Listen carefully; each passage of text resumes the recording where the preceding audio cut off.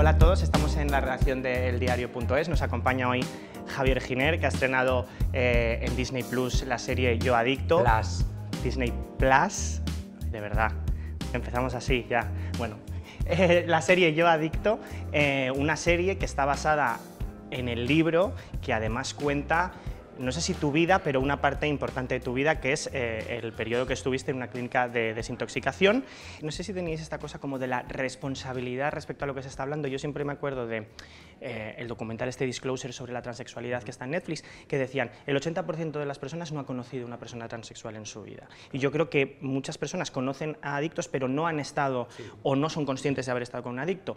Con lo cual, el referente que tienen es el que muestra la ficción. Sí, sí, y los referentes que han mostrado la ficción de adictos son, pues desde el miserabilismo, eh, el estereotipo, hasta qué punto te sentías responsable de la imagen que estabas dando y hasta qué punto querías romper con, con todo eso que se había dado. Bueno, una de las grandes motivaciones de, de, escribir el, el, libro y después de convertirlo en serie es justamente esa, es desestigmatizar y dar a conocer un mundo eh, y unos seres humanos que están profundamente estereotipados, están profundamente estigmatizados, y ya no solo te hablo de, la adicción como una enfermedad mental, sino te hablo de multitud de trastornos de la enfermedad mental. ¿no? O sea, em, eh, quiero decir, eh, la mayoría de personas no sabe lo que es un trastorno límite de personalidad, ¿no? O sea, es, quiero decir, o sea, la forma en la que tiene de etiquetarse un trastorno límite de personalidad es esa tía está loca.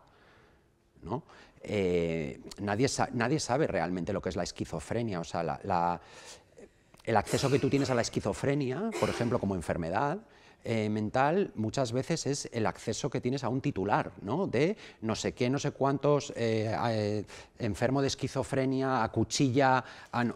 Claro, nadie te explica, por ejemplo, que los esquizofrénicos es, o sea, tienen mucho más peligro de hacerse daño a sí mismos que de ser violentos con otros. ¿No? Yo he convivido con esquizofrénicos y jamás han sido violentos hacia mí. Entonces, quiero decir, hay, hay una mezcla de desinterés, estigmatización, eh, poca empatía, eh, tal, y entonces hay un, hay un movilizador absoluto en la serie que es romper con todo eso, ¿no? Y sobre todo, em, que tú como espectador hagas el viaje y que esas personas que están tan alejadas de ti o que no tienen nada que ver contigo, con los cuales no compartes universos, llegues a entender que están mucho más cerca de ti de lo que tú piensas, ¿no? Porque esa es una de las cosas muy guays que están pasando con la serie, que es como todo el mundo de una manera u otra se siente reflejado por lo que cuenta la, pantalla. ¿no? sé si de alguna forma todos somos adictos de algo, no tiene por, qué ser... Sí, eh. sí, sí. De hecho, no solo eso, vivimos en una sociedad profundamente adictiva. ¿no? O sea, si tú, em, esta cosa del el arreglo rápido, eh, sé perfecto, eh, esta, especie como de imposición turbocapitalista de exprímete, ¿no? de tú, tú puedes, venga, no, todo eso, o sea, eh, estamos continuamente bombardeados con, eh, con, mensajes muy adictivos, muy adictivos. Y las frases estas de autoayuda, porque lo veo muchísimo, sobre todo ahora con esta cosa de los influencers, ¿no? El si quieres puedes, hmm. con buena actitud eh, todo es posible. Claro, tú como una persona que has trabajado muchísimo en ese hmm. proceso, ¿cómo vives cuando de repente se dan todos esos mensajes de una forma tan a mí, o sea, me, quiero decir, a mí me dan mucho asco. o sea, para que no, me van a dar con paños calientes.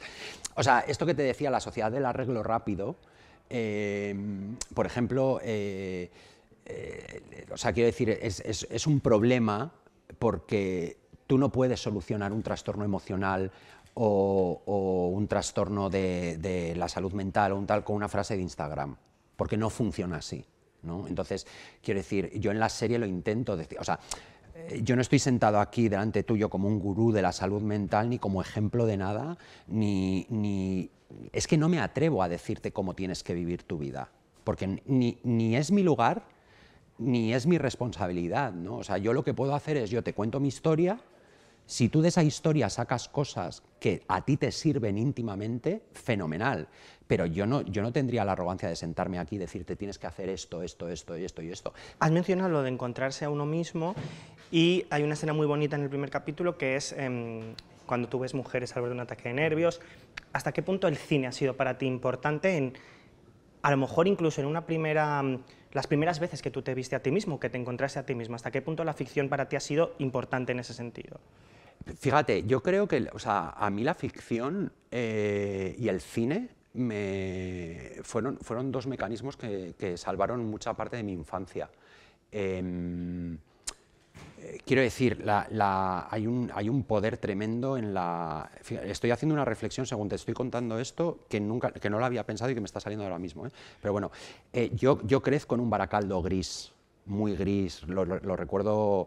Pues eso, lo recuerdo gris, plomizo, eh, lluvioso y tal. Y yo recuerdo eh, el cine como un lugar seguro y como un lugar donde de repente mi imaginación de alguna manera volaba y, mm, era una especie como de abrazo. ¿no? Em, yo fíjate, yo aprendo eh, como, como hombre homosexual, yo aprendo a reconocerme en el cine de Pedro Almodóvar, por ejemplo, con La ley del deseo. ¿No?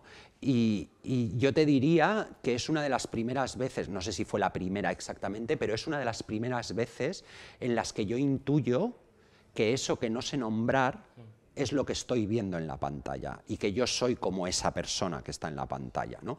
Y esa película de pronto se convierte en un abrazo a tu intimidad. Entonces, el, o sea, el poder de la representación es verdaderamente transformador y afecta a las vidas de los seres humanos. No, no quiero decir, o sea, no quiero decir que el cine cambie vidas, pero sí que las afecta. ¿no? Y tiene un poder muy, muy heavy. Y fíjate, la reflexión que estaba haciendo cuando te estaba contestando a esta pregunta era que creo que de alguna manera yo he intentado hacer lo mismo con Yo Adicto. Eh, creo que eh, es, es mi forma eh, de devolver audiovisualmente de alguna manera los abrazos que me dieron a mí de niño. Y te iba a decir justo porque además yo creo que la serie es un tema, es un tema jodido, pero eh, di- incluso diría que es humanista. No sé si tú sí. las- la- el- es algo que estaba en la Sí. espina dorsal de la serie o te has dado cuenta posterior o tenías claro que tenía que ser una serie luminosa y hasta humanista. Bueno, o sea, sobre todo hay, hay, hay varios, hay varios pilares que, que son que son herencias directas de cómo veo yo el mundo y cómo entiendo la realidad. O sea, que, que- y ahí está mi voz absoluta, ¿no? Que es, pues, por ejemplo, una defensa a ultranza del poder de lo colectivo, ¿no? O sea, una confianza en la bondad de los seres humanos. Que, que hoy en día, además, suena a mensaje chipirifláutico de eh. a naif, ingenuo, no sé qué, pero que realmente la bondad y la empatía son dos cosas que transforman el mundo, ¿sabes? Entonces, yo lo decía en San Sebastián, a mí que una persona en un momento muy oscuro de mi vida pudiese descubrir la dignidad o, salvar la dignidad que yo tenía dentro, a mí me salvó la vida, ¿no? Entonces, hostia, creo que, que tenemos que empezar a hacer una reivindicación de la bondad, de los vínculos, de la fuerza de lo colectivo, de salir de nuestras burbujas individuales, de cuidar los nuestro y olvidarnos del resto. Y en ese sentido, sí, claro que yo adicto eh, tiene mensajes profundamente humanistas. Pero claro, lo más humanista que hay, para mí, es entender al ser humano que está por debajo de, ¿no? O sea, quiero decir, em, al final la serie desmonta de alguna manera ese estigma del yonki, ¿no? Y al hacer ese, esa al desmontar ese estigma, quitas al yonki y te quedas con el ser humano, ¿no? Y entonces eso es lo que la convierte, porque al final, al final del viaje, realmente a ti Javier, Javier Giner, el Javier Giner de la pantalla, eh, no te importa que hayas sido yonki, o sea, dejas de ver al adicto y comienzas a ver al ser humano, ¿no? O sea, te lo pongo en un ejemplo muy claro y muy contundente, es decir, no se trata de Javier Zurro, periodista del diario, es quitemos esa etiqueta. ¿Quién es Javier Zurro detrás de eso? Y eso es lo que hace a la serie humanista, ¿no? Y eso con todos los personajes. Porque hay tanto miedo a decir que algo es político o incluso a posicionarse políticamente. Ahora está mucho el debate ¿no? de los, no- los artistas, que no sé, hay hasta columnas sobre eso. ¿Por qué crees que existe todavía ese, ese estigma, ese miedo a... a poli-? Eh, o sea, a ver, quiero decir, vamos por partes. Eh, yo creo que toda ficción es política. Toda, toda. Se- lo que te he dicho antes, ¿no? Sea porque eh, de alguna manera transmite un mensaje claramente político o sea por la ausencia. por ausencia de- Claro, o sea, pero es que la ausencia de un mensaje político también es político, ¿no?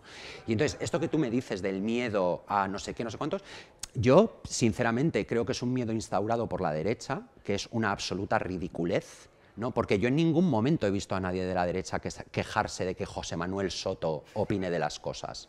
¿no? O sea, curiosamente, eh, es una derecha que solo se queja cuando opinamos u opinan artistas de izquierda, ¿no? o, que, o que se, auto, se autodenominan de izquierdas. ¿no? Em, o sea, es una, a mí me parece una ridiculez porque creo que todo, o es mi pensamiento, que todo en la vida, todo lo que decimos y todo lo que hacemos, incluso cómo nos relacionamos, es política.